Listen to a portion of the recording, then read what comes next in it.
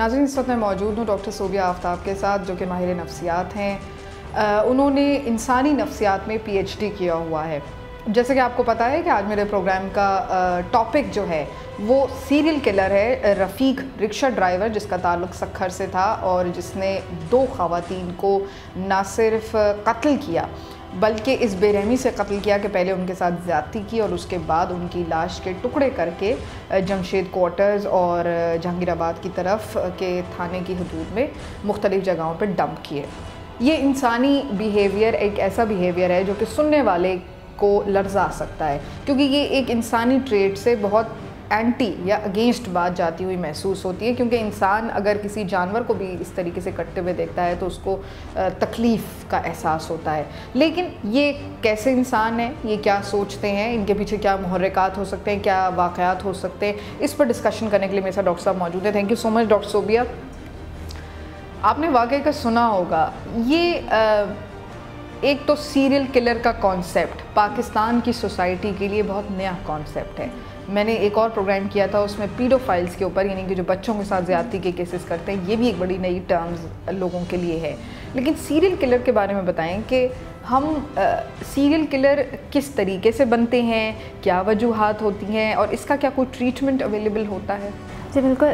पहले तो मैं इस चीज़ पर रोशनी डालना चाहूँगी कि लाइक वो किलर बनते क्यों हैं ये लोग ना? हम्म, हम्म। ठीक है ऐसे लोगों को जैसे अभी आपने जो केस रिपोर्ट किया है हमारी उसमें जो साइकोलॉजी के टर्म्स हैं उसमें एंटी सोशल पर्सनालिटीज़ कहा जाता है जो लोग इस तरह के क्राइम्स करते हैं और इनकी पर्सनालिटी के दो दो प्रोमिनेंट फीचर्स होते हैं उसमें एक इम्पल्सिविटी और लैक ऑफ़ एम्पथी होती है हम्म। ठीक है इम्पल्सिविटी मतलब इनकी तबीयत में बहुत ज़्यादा जल्दबाजी होती है ठीक है बगैर सोचे समझे ये कोई ना कोई कदम उठा लेते हैं हम्म। और दूसरा लैक ऑफ़ एम्पथी के इनके अंदर से जो एक इंसानियत कह लीजिए या जो एक एहसास होता है वो ख़त्म हो जाता है दर्द दर्द का तकलीफ़ तकलीफ़ का वो ख़त्म हो जाता है और ये बिल्कुल बेहिस हो जाते हैं। बिल्कुल ख़त्म और बेहिस हो जाते हैं ये लोग। अच्छा। ठीक है और जो केस आपने रिपोर्ट किया और इसमें भी मुझे जो लग रहा है कि ये दो फैक्टर्स हैं कि इम्पल्सिविटी और एक जो लैक ऑफ़ एम्पति है ये प्रोमिनेंट नज़र आ रहे हैं।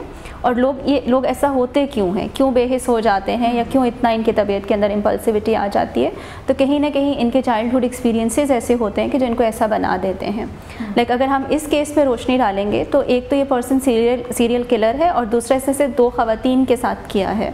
मैंने उससे पूछा था मैंने कहा कि तुमने ऐसा क्यों किया? तो वो बातों बातों में मैंने उसे काफ़ी इंटेरोगेट किया तो उसमें कहता मुझे गुस्सा आ गया था। एंगर मैनेजमेंट का इशू हो सकता यही यही जो मैं बता रही हूँ ना कि वही जो आपकी इंटरनल फीलिंग्स ऑफ़ इनाडिक्वेसी है वो मैनिफेस्ट होती है एग्रेशन और एंगर की फॉर्म में। वो आप एक फीमेल की तरफ़ नेगेटिव परसेप्शन डेवलप कर देते हैं और वो परसेप्शन वो नेगेटिव परसेप्शन जो एग्रेशन को लीड कर रही होती है। तो कहीं ना कहीं इसके इस तरह के एक्सपीरियंसिस रहे हैं। प्लस क्योंकि इसने उन खातन के साथ ज़्यादती की और उसके बाद उनका मर्डर किया हाँ, है। तो इसमें कहीं ये जो शख्स है ये कहीं ना कहीं ख़वान के ही हाथों अब्यूज़ हुआ है। ठीक है लाइक इस तरह के बहुत सारे केसेस होते हैं कि जिसमें वो बच्चे के जो अपनी से बड़ी उम्र औरतों से जो के हाथों यूज़ हो रहे होते हैं लाइक सेक्शुअल अब्यूज़ हो रहा होता है जिन बच्चों का वो बड़े होकर उनकी एक एग्रेशन डेवलप हो जाती है टुवर्ड्स फीमेल और वो इस तरह के एक्ट्स की तरफ़ जाते हैं। प्लस अगर आपका कोई इस तरह का इमोशनल एक बॉन्ड रहा है किसी खातून के साथ और उसने आपको जो है जो बिट्रेल की फीलिंग्स होती हैं उसने आपको चीट कर दिया कहीं और शादी कर ली तो वो भी एक नेगेटिव परसेप्शन डेवलप हो जाती है। क्या कोई ऐसे ख़ास ट्रेट्स आप ज़रा मैंशन कर दें मेरी देखने वाली पब्लिक के लिए कि ख़ास ऐसी चीज़ें हैं जो ख़वान को बी बीवेयर करें कि उससे ख़बरदार हो जाएँ कि ये जो बातें कर रहा है, ये सही नहीं है। जी, देखिए, ऐसे ऐसे लोग जो होते हैं, जैसे आपने भी थोड़ी देर बताया कि बहुत मासूम दिख रहा था, ठीक है, अब पहली बात यह कि जब अगर आप रिक्शा में बैठ रहे हैं या इवन अगर आपके घर में कोई नौकर है तो आपको उससे बात करने की बहुत ज़्यादा फजूल में बात करने की ज़रूरत नहीं है। जितना आपका काम है रिक्शा में आपने उससे कराया पूछा बैठ के।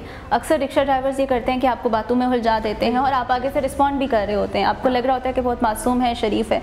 आप जवाब देते रहते हैं और बहुत सारी वो बातों बातों में आपसे इन्फॉर्मेशन भी उगलवा लेते हैं और आपको पता भी नहीं चलता है। तो ये आपको इस चीज़ का ख्याल रखना चाहिए कि जब आप पब्लिक ट्रांसपोर्ट पे आप ट्रेवल कर रहे हैं तो वहाँ आप इस तरह के मतलब वो बचपन में जो हम बच्चों को भी सिखाते हैं कि do not talk to strangers मतलब अजनबियों से बातें ना करें। बिल्कुल। हाँ। और घर में भी जो नौकर हैं पहले तो ये है कि अब जैसे आजकल हो रहा है कि आप उनके शनाख्ती कार्ड उनकी पूरी फैमिलीज़ की इन्वेस्टिगेशन करके उसके बाद आप अपने घर में कोई नौकर अच्छा इस सीरियल किलर की ये एक बड़ी अजीब बात थी कि इसने मुझे बताया कि इसके आठ बच्चे हैं और इसकी तीन बेटियाँ भी हैं। इसकी बहनें भी हैं और बेगम भी मौजूद है मतलब बीवी भी मौजूद है। भरा पूरा ख़ानदान है और उसके बावजूद वो यहाँ पे कराची में ये हरकतें कर रहा था। जी बिल्कुल। देखिए वही मैंने कहा ना कि कहीं ना कहीं वो जहनी तौर पे नॉर्मल नहीं था। और वो उसकी जो चाइल्डहुड की, उसने शादी की, उसके बच्चे हुए फैमिली थी, वो सारी चीज़ें जो थी उसके अनकॉन्शियसली कहीं जो है वो फिडेड थी, जो उसके चाइल्डहुड एक्सपीरियंसेस रहे होंगे या उसकी एडोलिसेंट एज में आके रहे होंगे। और वो एक एक स्टेज तक उसको जो है उस एंगर को दबाता रहा होगा और अचानक आके वो एंगर जो है वो इस तरह से मैनिफेस्ट हो गया। नाजरीन आपने डॉक्टर सोबिया आफ्ताब की गुफ्तु सुनी, उन्होंने क्लिनिकल पॉइंट ऑफ़ व्यू से ऐसे सीरियल किलर्स के बारे में कुछ पॉइंट्स उठाए हैं। लेकिन आ, मैं अपने देखने वालों से गुजारिश ये करूँगी कि डॉक्टर सोबिया ने जैसे कि बताया कि हमें बचपन से एक चीज़ सिखाई जाती है कि do not talk to strangers इसका मतलब ये होता है कि ऐसे अफराद जिनका हमसे कोई ताल्लुक़ ना हो या पब्लिकली हमसे मुलाकात करें तो उसमें उनसे ज़्यादा बातें करके इन्फॉर्मेशन पास ऑन करने की ज़रूरत नहीं होती। और दूसरे, ये चीज़ कि अगर आप अपने किसी भी ऐसे शख्स के कांटेक्ट में आते हैं तो आप उसके बिहेवियर को ट्रस्ट करने से पहले थोड़ा सा गेज करना सीखें, यानी कि आप उसको चेक करें कि ये कहाँ से आ रहा है, इसका क्या बैकग्राउंड है, इसकी क्या हरकत सकनात हैं, ना कि आप उसे सिर्फ़ बातें कर करके टाइम ज़ाया करें। मज़ीद इस केस में क्या अपडेट्स आती हैं या इस मुलजिम को क्या सज़ा मिलती है, ये तो अब आने वाला वक्त ही बेहतर बताएगा क्योंकि ये केस कोर्ट में जाएगा और उसके बाद इसको क्या सज़ा होती है। लेकिन इससे बड़ी सज़ा उस इन इस शख्स को जिसने इस दरिंदगी का मुजाहरा किया उसके लिए यहाँ पर यही कहना है कि वो उसको रोज़ क़यामत ही इसका फ़ैसला होगा और इसका खुदा की अदालत में ही ये केस जाएगा, क्योंकि हमने उस बेगुना औरत नसरीन के घर भी पहुँचे और वहाँ भी गुफ्तु की और आपको अंदाज़ा हुआ होगा कि कोई ऐसी अनयूजल बात उसकी फ़ैमिली में नहीं थी या कोई ऐसे प्रॉब्लम्स या मसाइल नज़र नहीं आ रहे थे, मासूम बच्चे थे, भरा पूरा घर था। लेकिन बहरहाल दूसरी खातून को कोई आइडेंटिफाई नहीं कर सका कि वो उस, इस हद तक उसका चेहरा मस्क कर दिया गया था कि पता नहीं चल रहा कि वो कौन है।